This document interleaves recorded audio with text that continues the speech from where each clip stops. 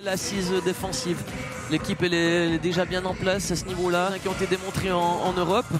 Et puis après, ben, comme souvent en Europe, la différence elle se fait.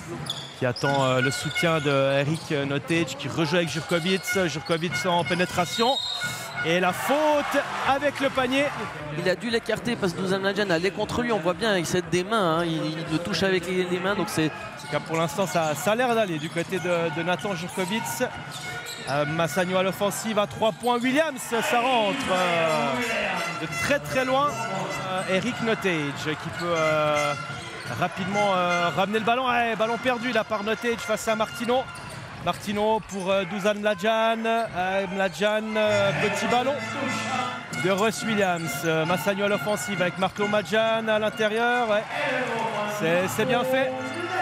Et c'est du pain béni ce genre de situation pour Solka maintenant avec euh, Langford à l'intérieur face à Couture et Langford qui prend le dessus sur euh, Arnaud Couture.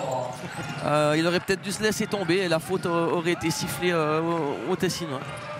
Les Tessinois qui sont en tout cas à l'offensive. Oh, Jurkovic maintenant pour Olympique avec Couture. Retour à, Nathan Jurkovic à l'intérieur et le panier avec la faute. Ouais, un panier incroyable. Hein. digne d'un joueur de basket 3-3.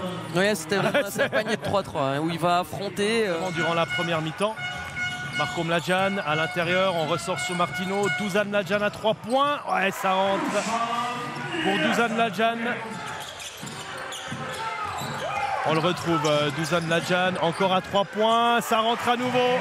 6-0. Douzan Mladjan ce panier de Duzan Ladjan dont, dont, vous parliez. Et puis ça, c'est le Langford avec euh, Solka. Dunance maintenant. Dunance encore. Dunance en pénétration. Et ça passe pour euh, Dunance. Dunance encore en pénétration. Et les deux points sur le buzzer pour, euh, pour Dunance pas le collectif qu'on voyait les autres années. On voit que c'est une équipe en formation, mais, mais euh, en Champions League, ça, jouait quand même mieux que ça. Avec euh, Sané. Hein, qui s'est fait euh, chipper le ballon par derrière là, par Dunans qui va aller claquer le dunk.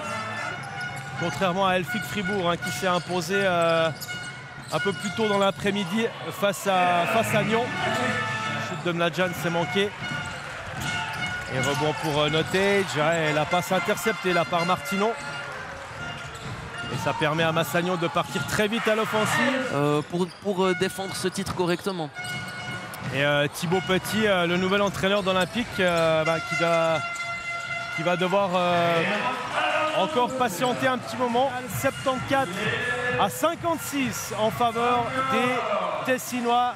voilà, c'en est terminé de cette Super Cup 2023 ici à, Saint-Léonard Olympique qui s'incline donc.